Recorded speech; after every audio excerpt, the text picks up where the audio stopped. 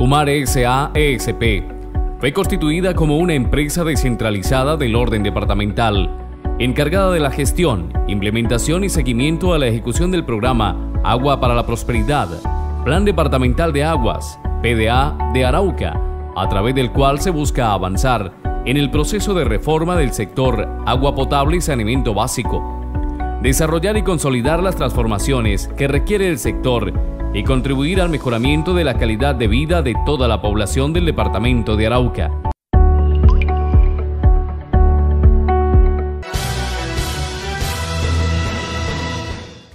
Empresa de aseo EMAR realizó una mesa técnica con la administración municipal para aclarar el pago de la recolección de basura de los asentamientos urbanos.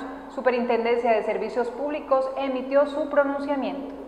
La empresa de aseo de Arauca de Mar y la administración municipal realizaron una mesa técnica para tratar la recolección de la basura de los asentamientos urbanos del municipio de Arauca. Los asentamientos ilegales urbanos, desafortunadamente faltaron algunas entidades, eh, no asistió la Procuraduría, no asistió la Personería, no asistió eh, eh, la Procuraduría también. Sin embargo, hubo entidades importantes como fueron la Personería Municipal, la Alcaldía, Enserpa, Interventoría y Aeronáutica Civil.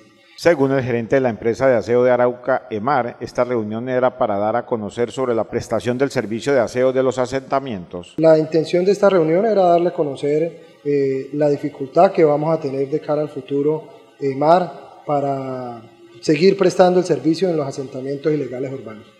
Esto con razón a que la Superintendencia de Servicios Públicos ha emitido un concepto que si bien los conceptos no son vinculantes, el concepto lo está emitiendo la entidad que me controla y me vigila. De manera que debo entender que este concepto es un control de advertencia en el que me está diciendo, hey, usted no puede prestar el servicio a los asentamientos ilegales urbanos dentro del esquema tradicional de aseo y por el contrario, es el municipio quien debe hacerlo a través de una empresa de servicios públicos o a través de un tercero y pagarlo con recursos propios. Entonces, la intención hoy era manifestar la problemática que tenemos.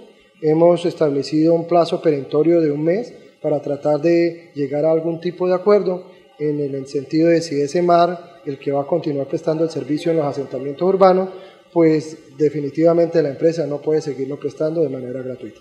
La empresa de aseo de Arauca no tiene presupuesto para prestarle el servicio de la recolección de basura a estas comunidades. CEMAR tampoco tiene presupuesto para prestar un servicio de manera gratuita.